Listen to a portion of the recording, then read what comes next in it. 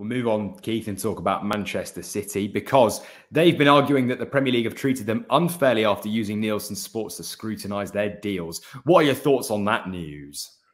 Well, this has seemed to me when I when I thought about it more of a legal manoeuvre of uh, Nielsen have been used like an expert witness would be used in any court trial, and it seems to be that this is Man City getting their punches in early to try and discredit an expert witness. Uh, I don't see how they could attack Nielsen. Well, sorry, they're attacking Nielsen because they said they've done work for uh, other clubs in the Premier League. That doesn't seem great grounds for me. I mean, if they're being used by other clubs in the Premier League, it's probably because they're very good at what they do. Uh, and, you know, their evidence is going to be pretty factual. Uh, they're going to be able to point to, you know, the market value of deals compared to other deals. And so, you know, yes, there may be an increase in Man City's for a certain reason, in which case they can put that forward. But I think it's just a classic maneuver. And actually, to me, it's showing a bit of weakness in the Man City case that they're coming out so soon trying to discredit an expert witness. Uh, it just doesn't uh, doesn't sit right to me. And if that's really one of their strong points, then they've got a pretty weak case. Uh, so th- that's my feeling. I think, look, it's going to be factual evidence. They will say, look, a hotel sponsorship is worth X uh, and then they can you know they can easily extrapolate the number of tourists that could come through airlines, hotels, those sort of things. All those sponsorships can be pretty well quantified.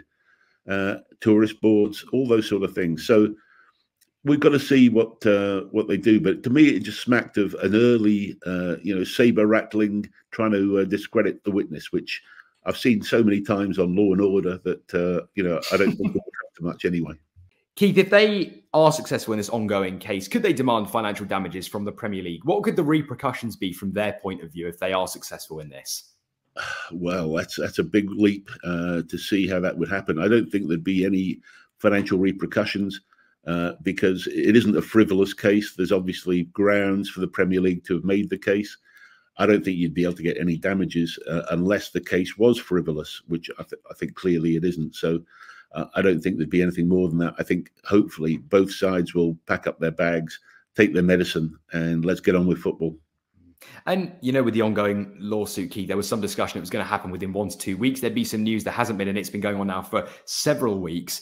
Is the lack of news worrying? And, and does it prove actually that we need to stop taking the Premier League timelines literally because of how long these cases have been taking? Yeah, look, once you're in the legal world, things have a whole different lifespan, and it certainly doesn't fit the football agenda or the football calendar. Uh, and so I think, hopefully, as I've said, that this quiet period right now, when there's been little vocal, uh, you know, posturing from each side, means that there are meaningful talks going on behind the scenes. That's what I was hoping for in the last week or so. No movement again uh, this week so far. Uh, everybody's watching it closely because they know how big this is. Uh, but no, it's it's a quiet period, and either they're just all in their bunkers, you know, getting their cases ready, uh, or actually there's some meaningful discussions and olive branches being handed out from both sides. I think the Premier League have probably got a lot more pressure on them to try and resolve this, um, given the expense it's costing. I mean, as we've seen, there's been rumours of the Premier League legal bill going from 5 million to 35, 40 million, which is ridiculous. Uh, that, you know, think well, that could be going into the uh, the, the game in some way. It's it's just it's just a waste of money, uh, and so we'll just have to wait and see. But it's coming to it's going to be a big one when it happens. So uh, let's see if there's a you know. I settled a court, a, a, court case with, with Villa the day before the court case was supposed to uh, to actually take place. Let's hope there's a similar settlement on the courtroom steps and something gets resolved here. Uh, that's my hope. And in terms of transfer news, they've been linked with former Everton winger and current Newcastle winger Anthony Gordon. Would he suit a move to the Etihad, Keith? And what would his valuation be, do you think, in today's market? Whoa, uh, Anthony Gordon. He's supposed to be coming back to Liverpool. That was all the, the stories and the uh, the rumours, and that uh, he was a, a boyhood Liverpool fan, etc. And he loves Stevie G, so it sort of made sense. Uh, the Man City thing, I don't see him really as a Pep type player uh, for some reason. I don't know why, but I don't think that. I mean, obviously he's got the pace, and as every old academy scout would tell me, you can't learn pace, and that's the big thing you got to look at players. Uh, so, Man City, uh, an evaluation for Anthony Gordon. I mean, I think you've got to be looking at maybe seventy-five million right now. Um, he is yet to be, you know, his end product has not been all it should have been, perhaps at Newcastle.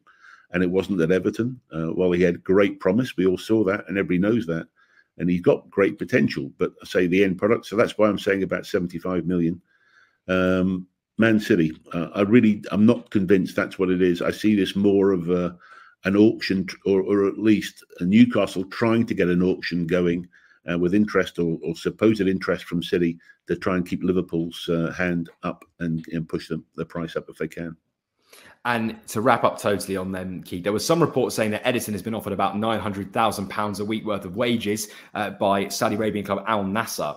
What are your thoughts on that move? And do you think he will or could move this summer? Is there a likelihood that he could potentially take that money and, and City uh, effectively paid out for him? Yeah, well, now with Brazil out of the Copa America, uh, I think we may see some movement on that, and I do think there's a chance that he could go down to uh, to Saudi. Uh, apparently, you know, the talks and the, sort of the rumours coming out of his side and the noises coming out from his side are all pretty positive about that. I've been down to Al Nassr. Uh, I've, I've, been to the stadium. I've seen the whole facility, and since Ronaldo went there, uh, they've improved things incredibly. I remember when I first did my uh, my walkthrough with the uh, the president there at, at the uh, the stadium. There was a lot of construction going on, and I said, "What's this?" He said, "Well, we're building a new gym because Cristiano wanted one." Uh, and so, you know, that's the sort of thing that's been happening down there, and facilities are improving, you know, a lot. Uh, so I think Ederson may well see that. I mean, the numbers talking about, as you mentioned, nine hundred thousand a week is phenomenal. Uh, and so it's hard for a player not to, particularly a goalkeeper, you know, at that sort of age, uh, could could well be attracted by that. However, uh, I hear the uh, the potential obstacle is actually Alisson from Liverpool could be the other choice, and there's even rumours of that happening. And I'd always felt that Alisson, Van Dijk, uh, Salah, etc., are the players who may well be looking to leave after Klopp had gone, uh, and so there may well be smoke behind that rumor as well. So it, I think it's going to be which keeper jumps first uh, because they're both obviously very talented keepers. Uh, and Al Nassr are a marquee Galactico type club. They are, in theory, one of the most, um, you know, one of the top clubs in Saudi. They are the, one of the glamour clubs, and uh, certainly it would be an interesting uh, situation for, for both those uh, both those keepers because it is a good setup down there. They'll be treated very well and the league is, is definitely improving. You've just watched a segment from Football Insider's brand new podcast, The Inside Track, with me, Lewis Peers, alongside the guests on the show. Thanks very much for tuning in. Please do give the video a like, comment your thoughts on the topic, and feel free to share on your social media pages. If you want to listen to the full podcast episode, click the link in the description below. Keep your eyes peeled for plenty more content and exclusives here on The Inside Track.